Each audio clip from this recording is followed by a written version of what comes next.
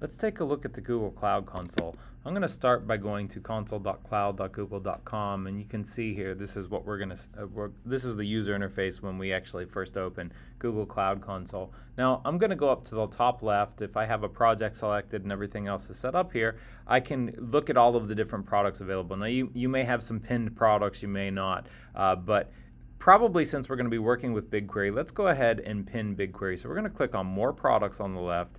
We're going to scroll down all the way down past uh, storage, which is not where BigQuery is, past databases, which is not where BigQuery is, past operations, uh, past tools, and in analytics where we'll see BigQuery. Now, if we click this little pin, this is going to mean that now when we open up this menu uh, in the future, we can see BigQuery uh, toward the top. Um, so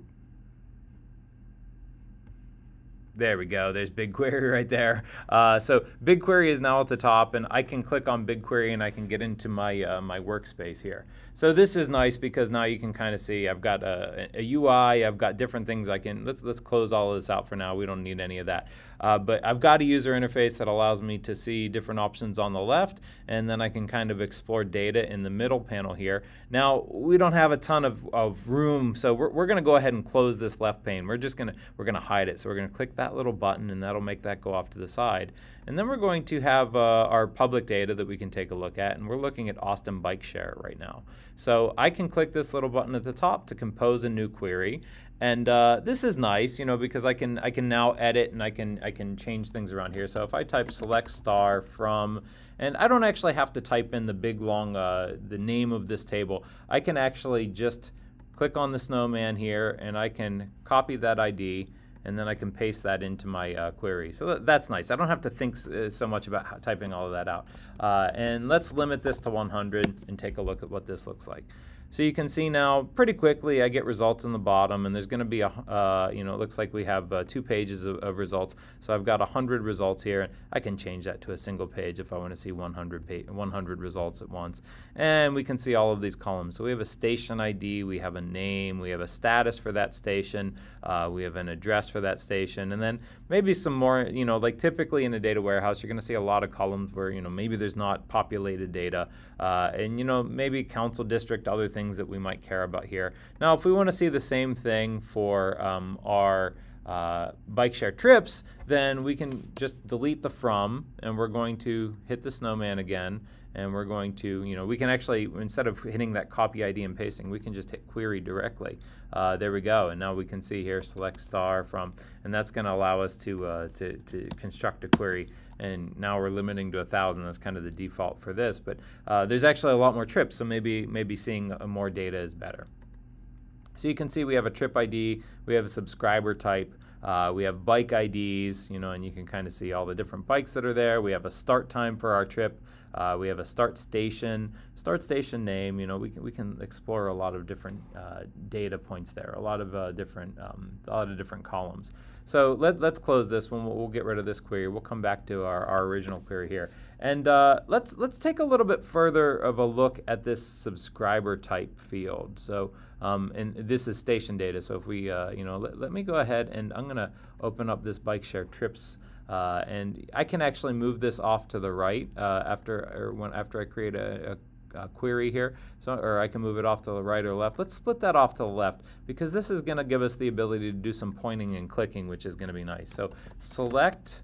Uh, I'm going to pick. Um, see here. This is bike share trips. So subscriber type from, uh, and then if I want that, uh, you know, we'll, we'll go ahead and copy that ID from the BigQuery public data Austin bike share bike share trips. And uh, then we're going to group by and then subscriber type again. So we can just click on that and hit enter. And now this, this allows me to kind of see what are all the different subscriber types. So by grouping this, I'm only getting a, a one particular value. This is kind of giving me unique values. And you can see there are 77 different subscriber types. Now, we don't have to do it this way. We can actually do select distinct subscriber type. And that will allow us to uh, eliminate that group by, and then we can kind of see the different subscriber types. And if we want to see these in any particular order, you know, here we could just uh, enter or order by subscriber type, and then we can see you know that you know how does that you know in an order you know but uh, you know this lot, lots of tools will allow you to kind of order that directly you know in your output So I can see a couple of different out, uh, uh, subscriber types. This might be useful data. I might I might want to make a note of this or kind of look at you know eh, there's 77 options. Maybe some of these are different types. Maybe I can group some of those types. Um, you know I might have to think about how that data works together or is similar when I actually get into further uh, details here. But right now we're just kind of exploring this data. So let's take a look at the station addresses. So let's say we want to see the stations now. So select uh, let's let's click on the stations and we'll, we'll move this over to the left pane. Uh, and uh, we got a, a, big mess of, of, uh, of, different things here. So let, us go ahead and, and, try to clean up our UI a little bit. We'll close this one. There we go. We'll close it. We don't need any of that work. Uh, we'll, we'll, we'll try to bring this one up into the left pane here. Can we get that in the left pane? Uh, let's move that to the left pane and then we'll create a new query and we'll move this to the right pane. There we go. Okay, so now we're going to select, let's say, name and address from, and then we can get this, uh, you know, we can get these station addresses. So uh, let's say bike stations, we'll, we'll copy that ID and, uh, you know, let, let's limit to 100.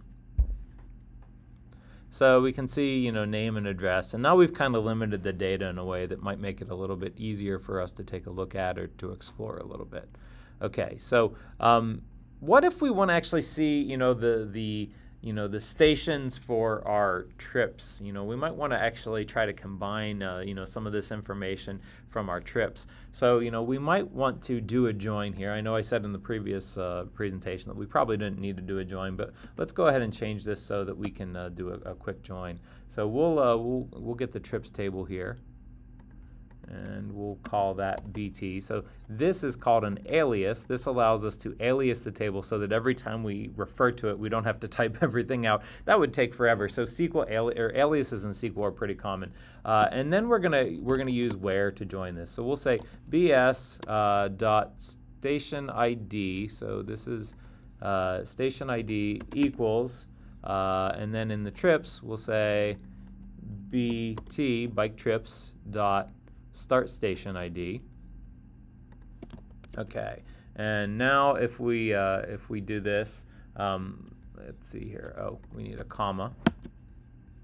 Uh, bt.startstation. Oh, see, I forgot my period. There we go. So now what we're doing is we're saying, let's get name and address, and we're going to start matching these things up. So uh, name and address, there we go. So name and address. So that that's kind of interesting. You know, that, that that's nice. Maybe we want to limit this to maybe, uh, you know, we want to limit this to only trips at a particular time of the day. So maybe, uh, and, um, you know, we could do uh, bt.start time, but we can't actually start there. We need a, we need a function to extract that time. So we're going to extract hour from bt.start time. And we want to say where that's 13, so 1 o'clock, 1 p.m. Now we should be able to get the name and address of all of the stations that we're getting at 1 p.m., which is kind of a start, but you know maybe we want to look at the start and end stations for each one of these. So um, we're going to actually need to join another table into this. So we'll say we're going to copy this uh, this uh, stations table because we're going to use it twice. We're going to say uh, bike station start, bike station end. So we'll use a nice short alias for this. And then we're going to change the columns that we're working with.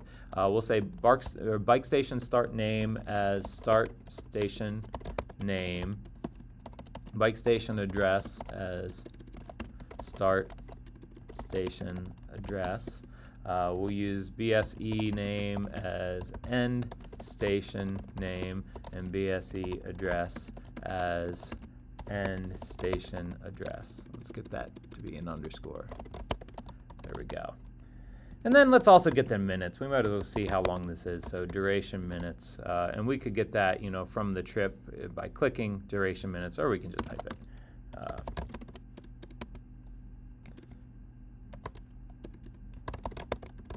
okay.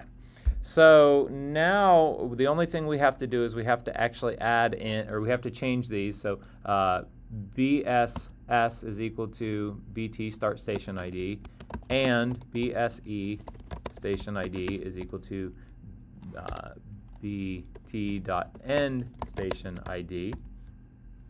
And we run this. So here, here's a problem we're going to run into, which is kind of strange, but for some reason, uh, the, the types here don't match up. And if we look at this, Uh, start station ID is an integer. Uh, end station ID is a string for some reason, and if we take a look at the uh, the bike share data, um, you know, station ID is an integer. So that's kind of a strange thing. Um, not sure why they, they changed it that way, but uh, we can just cast this. So we can we can convert it. Cast uh, and we can use as int64, which is going to be our type. Now, there's cast and there's also safe cast, and casting will work, but sometimes you're going to run into a problem where that particular data type doesn't doesn't translate well. So safe cast will allow us to avoid any errors associated with that. Now, if we execute this query, uh, we should be able to see the start station name, the start station address, the end station name, end station address, and how long it takes. So this is kind of interesting because now we could start to do, you know, interesting analysis around, well, how long does it take to get from station to station, and what's kind of normal, and what other factors might be uh, might be influencing there. You know, so uh, if we want to create another query here, you know, if we just want to see like how long does it take, like how long do the trips take, we could just use uh, one of those SQL functions like SQL or select average duration minutes as average trip from, and then let's get the trips here. So we're gonna we're gonna use we're gonna copy that because that's a lot to, to type in. Um, where, and if we want to see what how long it takes to get places, uh, extract hour from start time. Uh, let's say we'll, we'll do one o'clock again. So we can kind of see, uh, and we don't have to limit because we, because we only selected one average here. So 29, 29 minutes. Well, people at 1 o'clock are taking trips at about a half an hour. But we could also see, you know, at, at 6 a.m., what's the average duration? Well, it's a little bit shorter at 6 a.m. Uh, at 9 a.m., so even shorter. You know, I think probably 11, uh, 11 a.m. is going to be uh, about the same. And if we looked at 11 p.m., we could see here uh, okay, so it's a little bit longer. People taking longer trips. Uh, you know, I wonder at 2 a.m. How, how long is a trip at 2 a.m.? Uh, people are going a long way at, at 2 a.m. in Austin. So, uh, you know, probably uh, see a lot of, uh, well, you might not see a lot of bikers, but you see bikers traveling for a long time at 2 a.m. in Austin. Um, so we could actually take some of that information back to our original query here. If we want to see, you know, like what's the average duration per tip per trip, uh, you know, let's just say we'll look at uh, this the, the start and end station name. We'll, we'll, skip out on address for this one, and we can see average, uh, you know, duration minutes as, and we can change the name of this column, average duration. Um, so now everything else should be the same, and we'll uh, we have to add a group by. So we'll group by bse.name and uh, bs or say bss.name and bse.name and now we can take a look at this. Uh, you know, we can see start station to end station uh, takes about 26 minutes to get there. You know, and if we, you know, we could even, you know, throw in an order by uh, if we wanted to, to to kind of see like, well, how long does it take to get from place to place? Um, I believe we could even do order by uh, average duration. See if that'll work.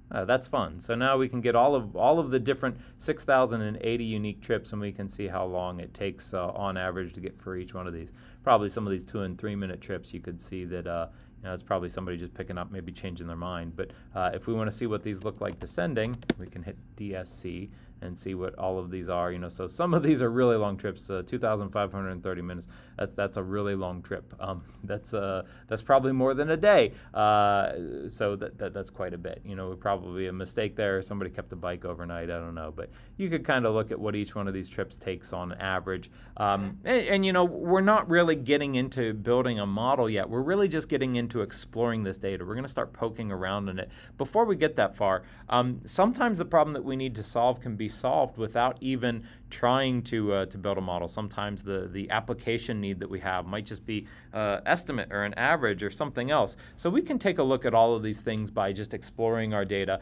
and we'll need to do that. You know, if we want to put together uh, sensible models and and really solve the problems necessary for our applications. Hopefully, this will help you to get into BigQuery a little bit and understand the tools a little bit more, uh, and hopefully you can uh, you can start building your own queries. Thank you for watching.